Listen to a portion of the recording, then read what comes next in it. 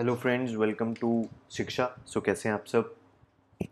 So friends this is your lecture number 14 for M C Qs on current affairs and development issues okay specifically important है आपके U P S C E P F O के लिए। Current affairs का आपका thorough revision हो जाएगा इन M C Qs के थ्रू एंड बाकी अगर आप सिविल सर्विसेज़ के लिए प्रिपेयर कर रहे हो C D S N D A C A P F या स्टेट सर्विसेज़ के लिए, उनके लिए भी इंपॉर्टेंट रहेगा। दस क्वेश्चन इसके अंदर हमने देखने हैं।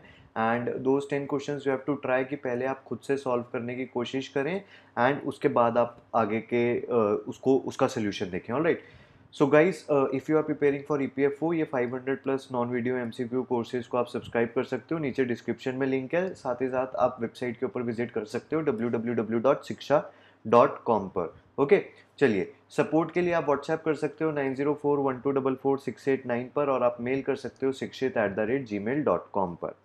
चलो तो पहला क्वेश्चन देखते हैं and try to understand it try to solve it by yourself उसके बाद ही आप इसको आगे जो है बढ़ाएँ। Okay so the first question से is dam rehabilitation and improvement project ये एक ऐसा टॉपिक है इसको हम शॉर्ट में ड्रिप बोलते हैं। ये जो पर्टिकुलर प्रोजेक्ट है it is also called DRIP ठीक है? तो ये एक ऐसा प्रोजेक्ट है जो कभी ना कभी न्यूज़ में हर साल अपने आप आ जाता है ठीक है? सो so, इससे रिलेटेड आपको स्टेटमेंट्स कंसिडर करने हैं। सबसे पहला स्टेटमेंट है वन ऑफ़ इट्स एम इस प्रोजेक्ट का एम है to generate the incidental revenue for sustainable operation and maintenance of dam कि भैया रेवेन्यू जनरेट करना है ताकि हम सस्टेनेबली जो हमारे डैम्स हैं, जो बड़े डैम हैं, उनको ऑपरेट कर सकें और उनकी मेंटेनेंस के ऊपर भी काम कर सकें। सेकेंड ऑप्शन कहता है कि ये जो प्रोजेक्ट है, ये वर्ल्ड बैंक फंड करता है और एशियन इंफ्रास्ट्रक्चर इन्वेस्टमेंट बैंक भी इसमें फंडिंग करता है। तो आपको पता होना चाहिए कि इंस्टीट्यूट्स क्या, ये हैं फंडिंग के अंदर। बताना मुझे क्या है कि स्टेटमेंट करेक्ट कौन सा है? ऑप्शंस मेरे पास ये आ गए। ठीक है करेक्ट इनकरेक्ट के ऊपर बहुत बहुत बहुत ज़्यादा ध्यान देना है। तो आंसर इस केस में मेरा क्या हो जाएगा? खुद से पहले ट्राई करना है फिर उसके बाद आंसर करना है। सो so, आंसर मेरा सी हो जाएगा। दोनों स्टेटमेंट्स जो हैं वो मेरे एकदम करेक्ट हैं। ड्रिप जो प्रोजेक्ट है आपका ये जो आपके बिग डैम्स हैं उनकी मेंटेनेंस के लिए और उनके सस्टेनेबल ऑपरेशन के लिए डैम रिहेबिलिटेशन तो वहाँ से समझ अपने को आ ही जाता है। और ये फुल फॉर्म भी आपको पता होनी चाहिए ड्रिप की और डैम रिहेबिलिटेशन वो कई बार पूछ सकता है उसके अंदर भी। और फंडिंग जो है वर्ल्ड बैंक और एशियन इंफ्रास्ट्रक्चर बैंक जो है, दोनों कर रहे हैं। न्यूज़ में क्यों था? क्योंकि अभी यूनाइटेड नेशंस ने अपनी एक रिपोर्ट निकाली थी और उस रिपोर्ट का नाम था ageing water infrastructure and emerging global risk अब मैंने आपको बार बार बताया कि रिपोर्ट के ऊपर क्वेश्चन भी पूछे जाते हैं पेपर के अंदर। तो वो डायरेक्ट क्वेश्चन ये भी पूछ सकता था कि ageing water infrastructure and emerging global risk is a report that has been recently released by नीचे चार ऑर्गेनाइजेशन के नाम दे देता उसमें से एक आपका यूनाइटेड नेशंस होता जो आपका आंसर बन जाता।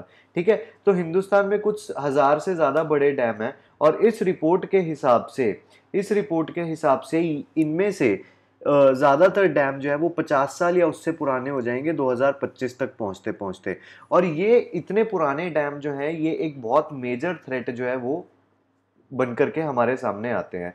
ड्रिप प्रोजेक्ट क्या है? ड्रिप प्रोजेक्ट अब इन्हीं डैम्स की सेफ्टी को इम्प्रूव करने के लिए, इनकी परफॉर्मेंस को इम्प्रूव करने के लिए ये एक प्रोजेक्ट है, जिससे हम कहते हैं कि हम सस्टेनेबल मैनर में डैम्स को इम्प्रूव कर सकें। ओके? साथ ही साथ it also aims to explore the alternative incidental means at few of selected dams to generate the incidental revenue कि कैसे डैम्स में हम और रेवेन्यू को जनरेट कर सके जिससे आपका सस्टेनेबल ऑपरेशन हो जाए। क्योंकि अगर आपको मेंटेनेंस वगैरह करना है सस्टेनेबिलिटी में लेकर आना है तो आपको उसके लिए फंडिंग तो चाहिए ठीक है? उस, उसके अलावा आपका वर्ल्ड बैंक और एशियन इंफ्रास्ट्रक्चर इन्वेस्टमेंट बैंक इसके अंदर जो है फंडिंग करते हैं तो आपकी दोनों स्टेटमेंट्स यहाँ पर करेक्ट हैं। ऑल राइट चलिए, अब सेकंड क्वेश्चन के आप ऊपर आते हैं। Basically it is related to international affairs okay news में था दैट इज़ वाई इसको हमने क्वेश्चन यहाँ पर फ्रेम किया है। सो हांगकॉन्ग से रिलेटेड आपको कुछ स्टेटमेंट्स गिवन है. So Hong Kong is govern by the principle of one country two system one country two system का क्या मतलब हो गया? कि हाँ हम एक कंट्री का पार्ट है. फॉर एग्ज़ाम्पल हांगकॉन्ग जो है, वो एक तरह से चाइना का पार्ट है. ठीक है? जोग्राफिकली हांगकॉन्ग को हम क्या कहेंगे? Hong Kong is in China लेकिन टू सिस्टम्स का क्या मतलब हो गया? कि जो हांगकांग की पॉलिटी है, जो हांगकांग की एडमिनिस्ट्रेशन है, जो हांगकांग की गवर्नेंस है, वो सारी की सारी बाकी का जो चाइना है, उससे अलग है है ना? तो वन कंट्री टू सिस्टम्स पहला स्टेटमेंट ये कहता है। दूसरा स्टेटमेंट क्या कहता है?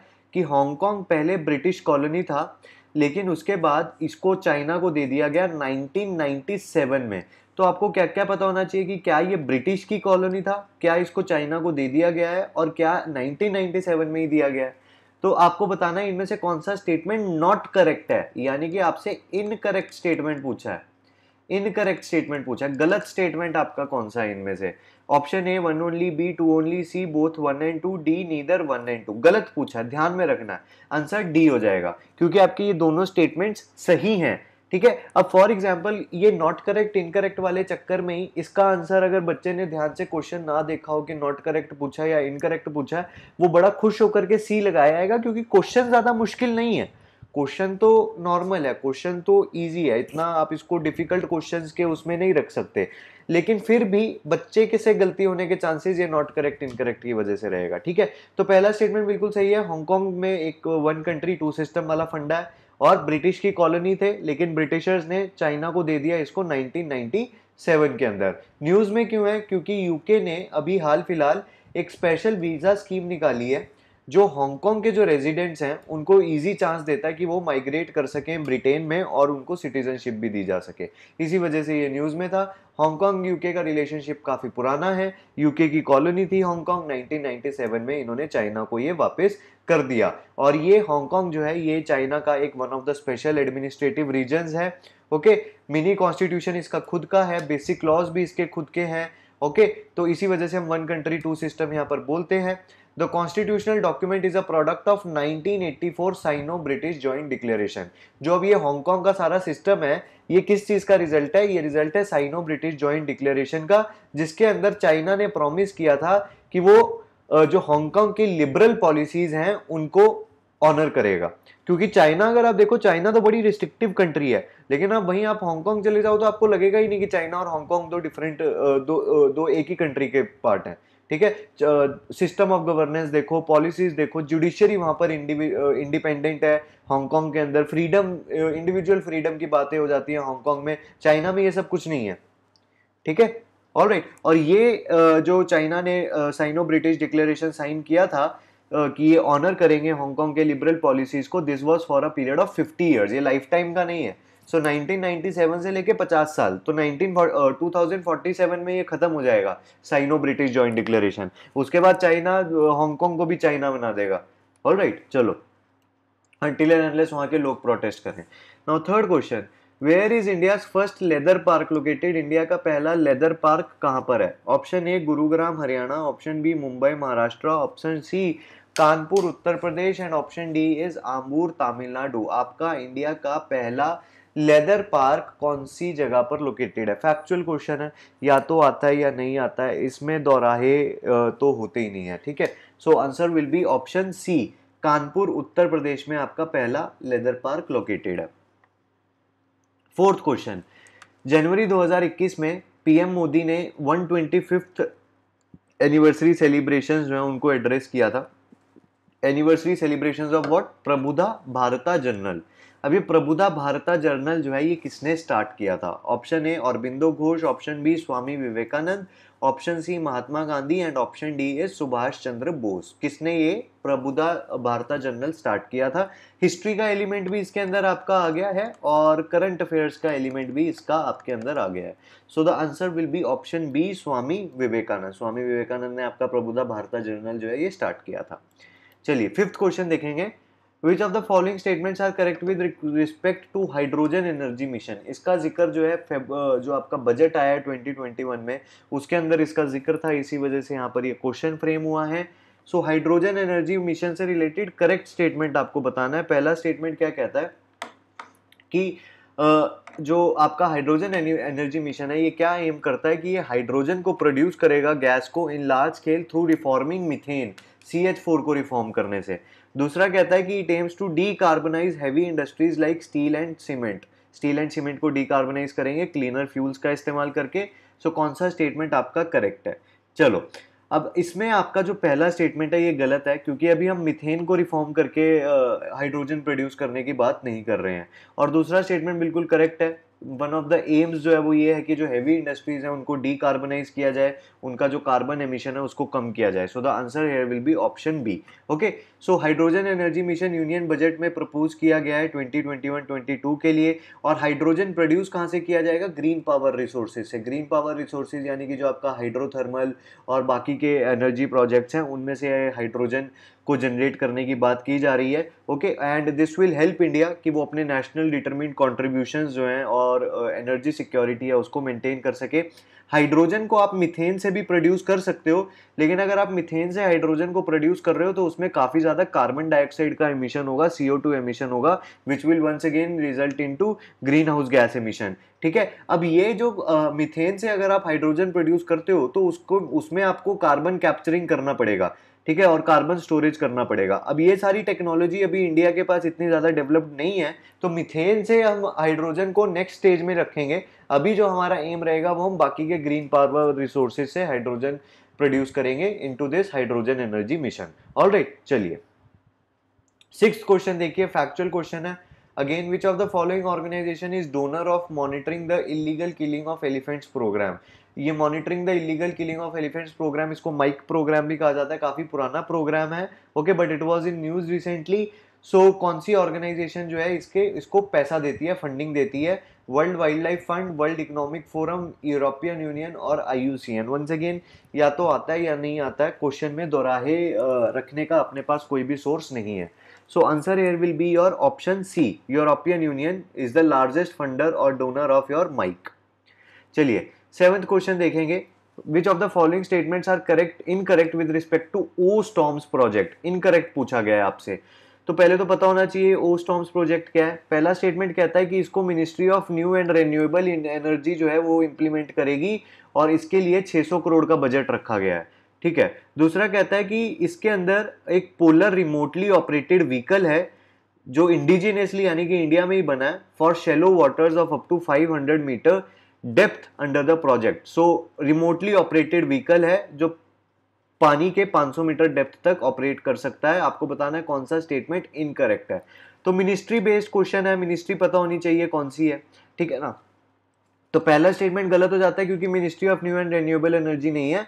यहाँ पर आपकी कौन सी आएगी? मिनिस्ट्री ऑफ़ अर्थ साइंसेज आएगी।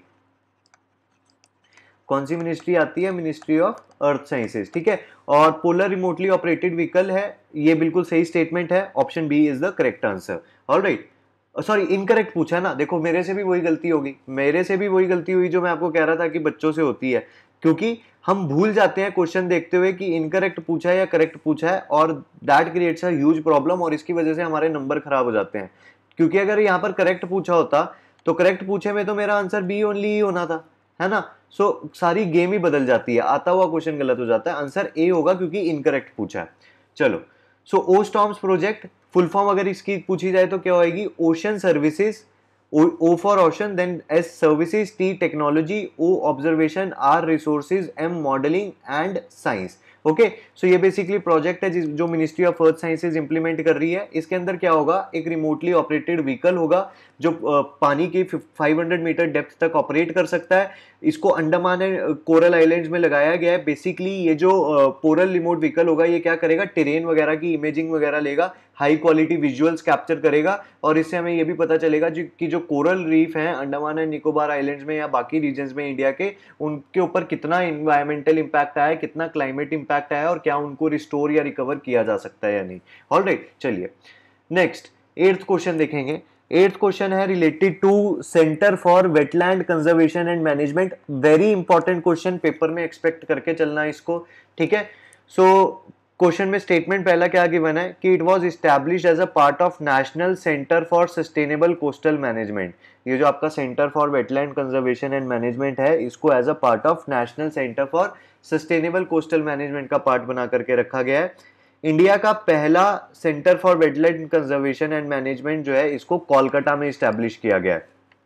आपको वंस अगेन बताना है स्टेटमेंट करेक्ट कौन सा है? तो ऑप्शंस आपके सामने ये रहे।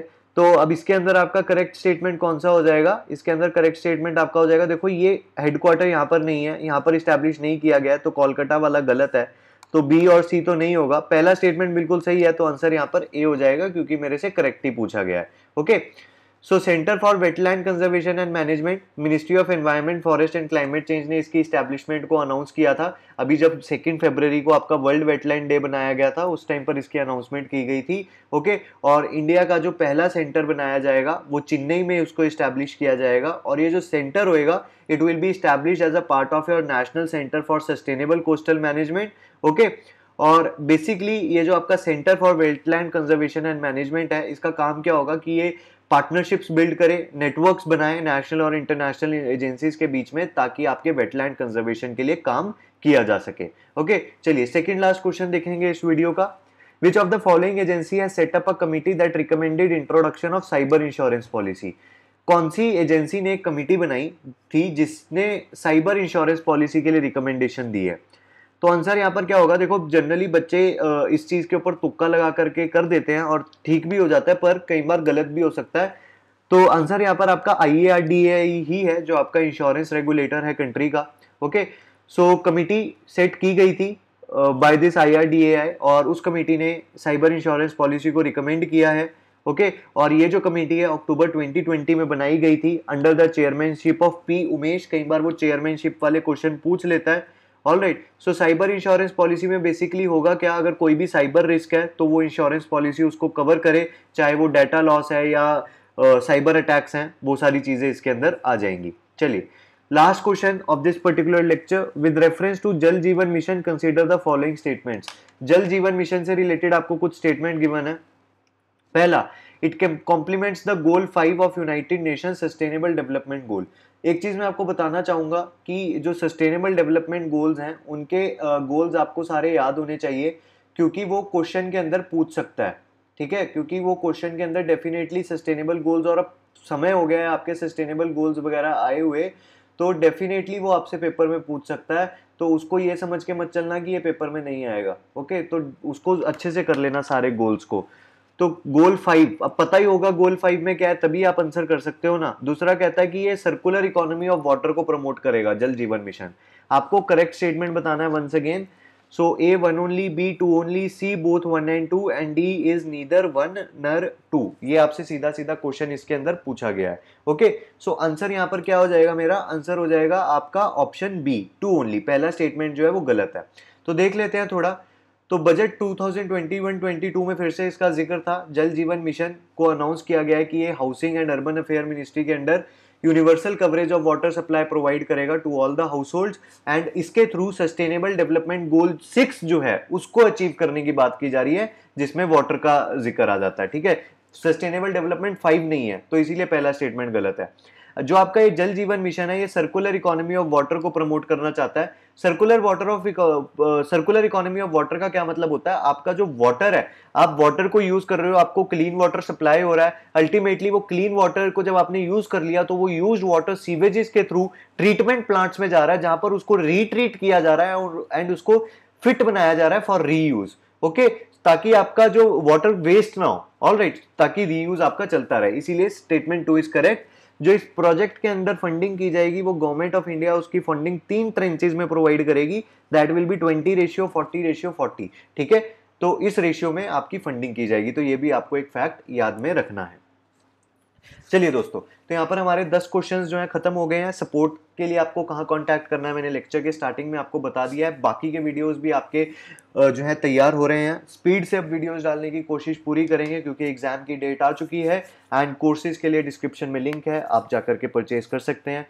So all right guys will see you in another lecture till then all the best and bye